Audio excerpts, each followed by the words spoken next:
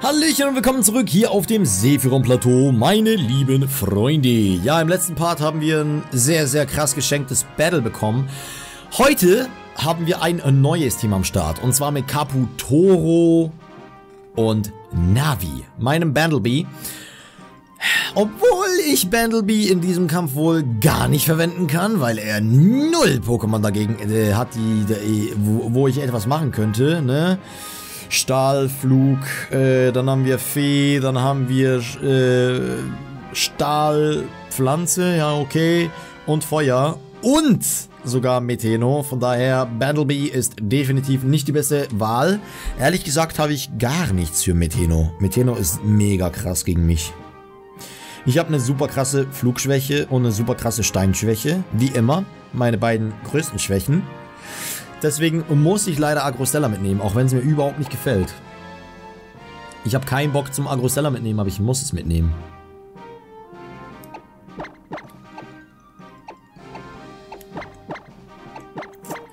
Ich muss mit Fruja leaden.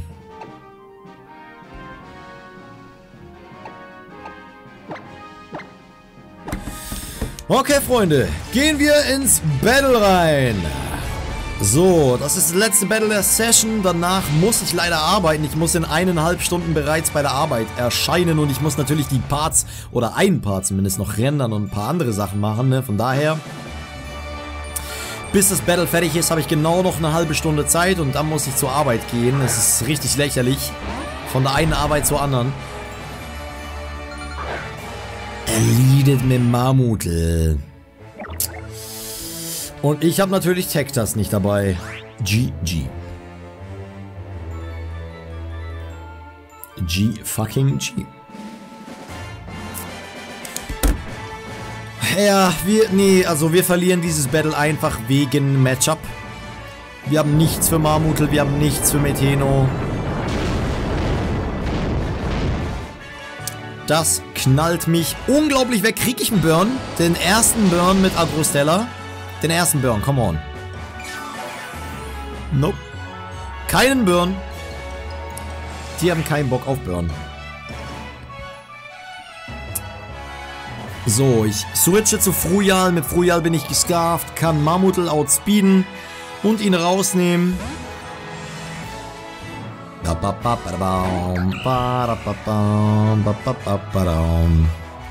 Ne, ich kann ihn finishen. Frujal hat einen guten Bulk. So, und jetzt äh, kann ich einfach easy squeezy für einen Tropenkick gehen und einen Attack-Drop verursachen. Auf welchem Pokémon auch immer. So, er lässt sein Mammut sterben, hat wahrscheinlich gedacht, yo, keine Ahnung, also Eissplitter funktioniert nicht wegen Majestät. Dann äh, Icicle Crash, äh, wenn er nicht gescarft ist, dann äh, outspeede ich sowieso. Und wenn er gescarft ist, dann ist er nochmal für ein Erdbeben gegangen, von daher easy. Okay, Kaguron, gegen das Ding habe ich gar nichts. Er kann lustigerweise einfach für eine Akrobatik gehen und mich töten.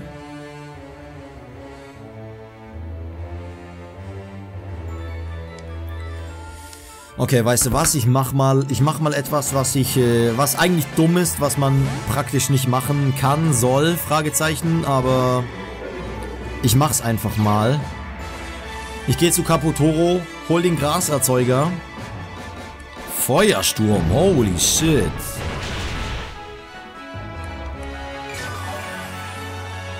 Okay, ähm... Die Sache ist die, ich könnte jetzt eine Steinkante droppen. Die neutral trifft. Wahlband macht das natürlich ein bisschen Damage, aber... Doch, ich muss es fast machen, ne? Ich muss eine Steinkante droppen. Ansonsten kriege ich das äh, Cargoron nicht mehr tot. Und ich treffe, glücklicherweise, Rambos. Okay. Das tötet mein Caputoro. Ist aber in Ordnung, denn somit musste ich nicht... Oh, jetzt kriegt er einen Boost. Das habe ich nicht mit einberechnet. Ich Trottel. Aber ich kann einfach protecten, wenn ich will. Um ehrlich zu sein. Ja. Ich gehe für den Bunker. Krieg KP zurück durch Giftschleim und durch das äh, Flower Power Schild hier, ne, wo wir haben. Oder Feld, Grasfeld. So, Bunker, Bunker. Wenn er gewieft ist, dann prediktet er das, aber ich glaube nicht. Er geht für den Z-Move. Uh. Was hast du für einen Z-Move, Alter? Was genau hast du für den Z-Move? Nimmt seine ganze Kraft zusammen. Oh, ja, die Bodenattacke. Oh, damn it. Es ist nicht Stab und ich bin krass defensiv. Außerdem machst du nur eine gewisse Prozentzahl an Damage. Wir überleben. Wir überleben tatsächlich. Holy shit, Alter. Okay, das ist gut. Jetzt muss ich angreifen, leider. Ja, ein Erdbeben wird auch nicht mehr reichen, ne? Ich gehe mal für ein Siedewasser. Vielleicht kriege ich einen Burn. Wer weiß, vielleicht kriege ich jetzt mal einen Burn. So, jetzt kann er nur noch normale Erdbeben machen. Obwohl, das mü müsste genauso viel Damage machen, weil, äh... Ne? So, Siedewasser. Boots. Crit, aber kein Burn. Burn wäre mir tatsächlich lieber gewesen, aber in Ordnung. Ähm, was genau mache ich denn jetzt? Ich könnte das Erdbeben mit Frujal tanken. Outspeeden und ihn umbringen mit meinem Turmkick. Ja, ich muss das machen. Ich muss das machen, Freunde, weil sein letztes Pokémon, wenn sein letztes Pokémon nicht schwach gegen Turmkick ist, dann habe ich verkackt. Ich brauche nochmal einen Switch in Frujal. Und das Erdbeben werde ich tanken, weil äh, es wird resisted und... Ne. So. Ich krieg noch ein paar KP mehr. Grasfeld ist cool. Aber leider verschwunden. Und das Gute ist, er fliegt, deswegen ist er vom Grasfeld nicht betroffen. So, ich outspeede, Turmkick sollte auf jeden Fall reichen. Zurückgerufen. Kapuriki. Oh, ja gut, dann gewinne ich natürlich nicht mehr. Kapuriki knallt mich weg des Todes.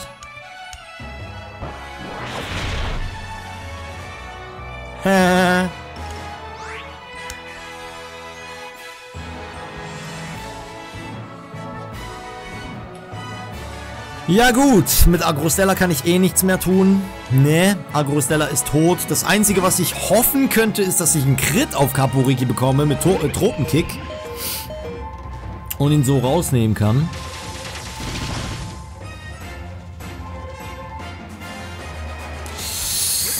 Oh je, oh je, oh je. Das Ding ist halt nur Tropenkick Tropenkick wird resisted von seinem anderen Pokémon. Und zwar vierfach. Alter, Tropenkick wird vierfach resisted. Tja, dann habe ich verloren. Dann habe ich eben verloren. Tropenkick wird vierfach resisted. Schade, schade. Das würde für einen Tuit reichen. Aha.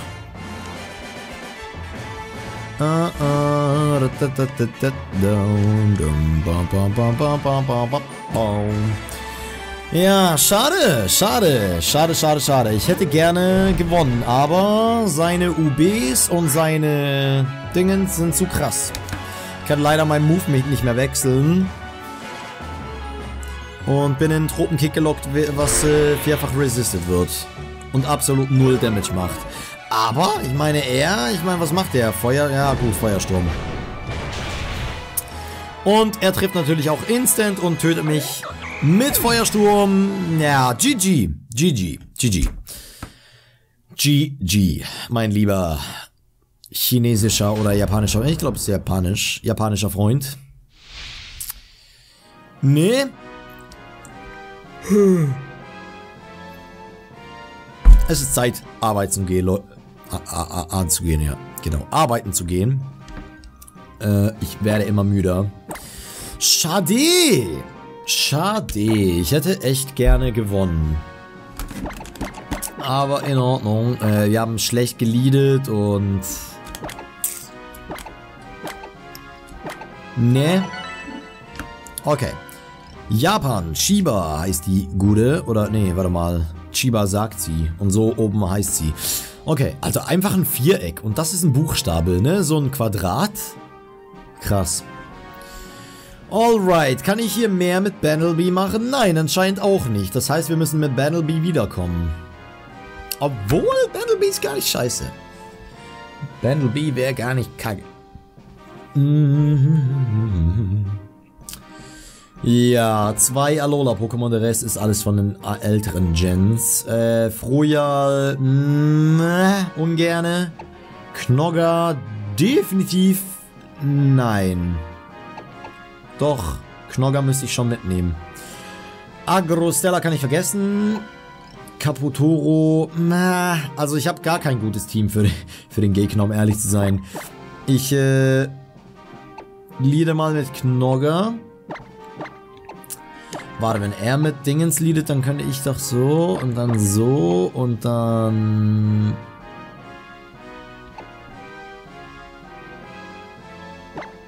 So? Fragezeichen?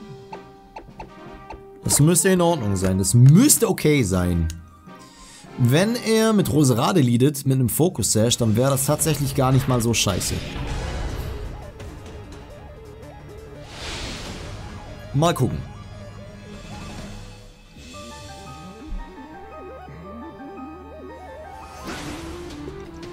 Es geht los, Freunde. Gegen den letzten Trainer dieser Session. Er startet mit Luxtra. Das ist nicht schlecht, denn ich resiste deinen Stab. Oh, Prospedor. Will ich an der Stelle zu was raus? Ich könnte zu Knogger. Ich gehe mal mit einer Kehrtwende raus zu Knogger, weil Knogger immunisiert Elektroattacken und resistet Feuerattacken, falls du den Feuerzahn drauf hast. Außerdem werde ich so meinen Bedroher wieder los, ne? Und es ist eine gute Gelegenheit, Knogger ins Battle zu bringen. Übrigens, ich muss Froststampfer mal gegen Erdbeben austauschen. Eiszahn. Okay, der wird auch resisted. Äh, ich würde behaupten, ich gehe für einen Schattenknochen. Ich glaube nämlich, Schattenknochen müsste auch für Luxtra reichen. Donnerwelle. Ha! Bruh! Please and thank you. So, das war's mit Luxtra. Das erste Pokémon ist down. Einen kleinen Missplay gemacht. Nicht, nicht dass mir jetzt der Spätze-Tag was bringen würde, aber einen kleinen Missplay gemacht. So, Skelabra kommt rein. Du willst mich spukballen, ne? Du willst mich einfach spukballen.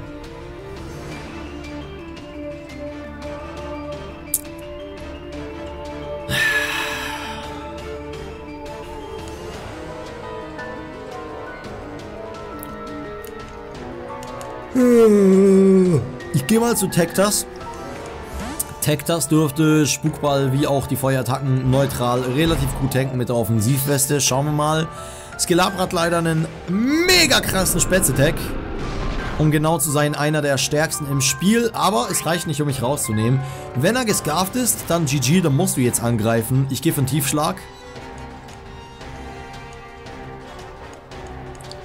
So, und du fällst rein in die äh, Falle.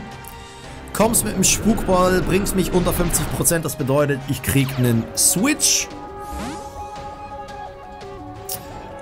Äh, zu wem will ich switchen? Ah, hier ist alles resisted, ne? Hier ist alles resisted. Alles. Ja, das ist nicht gut. Knogger tankt natürlich keinen Schattenstoß, aber ich gehe mal davon aus, dass du ein Pokémon hast, was noch relativ schwach ist gegen Knogger. So, gehen wir mal zu Frujal. Ich drücke mal auf die Kehrtwende, falls du outspeedest, um mich, ne? Ah, ich outspeede. That is not so good. Jetzt müssen wir gucken, war Tektas, war das ein 3-Hit? Ja, es war ein 3-Hit auf jeden Fall. Und Tektas, brauche ich Tektas? Ja, ich brauche Tektas. Ich muss zu Knogger, leider. Bist du vielleicht gar nicht Sash? Äh, du bist, du bist gar nicht...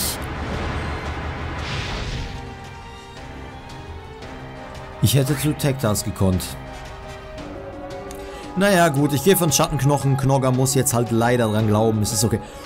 Gedankengut setzt er jetzt auf, weil er denkt, ich switche wieder raus. Jo, der Jung, der ist ein mutiger Boy, Alter.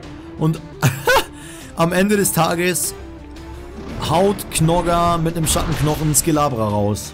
Oh, du hast overpredicted, mein Freund. Du hast richtig overpredicted. Oh, das würde mich aufregen. Ich wäre richtig salty. Was kommt jetzt? Ich habe noch drei Pokémon.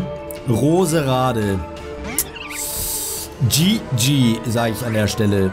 So, du kriegst jetzt einen Flareblitz ab. Äh, ich resiste Gift und ich resiste äh, Pflanzenattacken. Was du mir machen könntest, ist mich einschläfern. Theoretisch.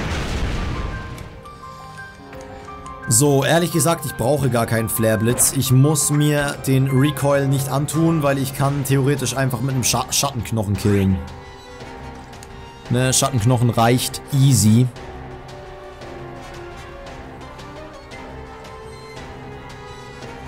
So, dann habe ich noch ein Tech, das was neutral trifft und richtig reinhauen kann. Energieball? Yo, das tötet mich nicht, mein Freund. Schattenknochen kommt durch und ich glaube, wir snacken ein 3 zu 0. Alter, Alola Knogger hat gerade alle weggeknüppelt mit dem Schattenknochen, ne? Alles und jeden hat er weggeknüppelt. Okay. Ja, mal schauen, Freunde. Ich habe noch einige Pokémon für euch auf Lager. Wie gesagt, ich würde ultra gerne mal Bandlebee sehen und natürlich die ganzen Ultra-Bestien und die ganzen Kapus, ne, Kapufala und so ein Kram haben wir noch nie verwendet. All diese Pokémon werde ich euch noch zeigen, aber jetzt habe ich leider keine Zeit mehr. Ich muss leider los zur Arbeit, Freunde. Ich würde super gerne, aber ich kann nicht. Äh, nein, ich würde das Battle gerne nicht speichern. So, auf jeden Fall danke ich euch fürs Zusehen, Freunde. Wir sehen uns auf jeden Fall im nächsten Part. Ähm, lasst einen Daumen da, wenn es euch gefallen hat. Schreibt mir in den Kommentare Set-Vorschläge, wenn ihr welche habt. Und folgt auf Twitter, um gegen mich zu kämpfen in der nächsten Session von Schlingel Battles. Haut rein, euer Sephiron und tschüss.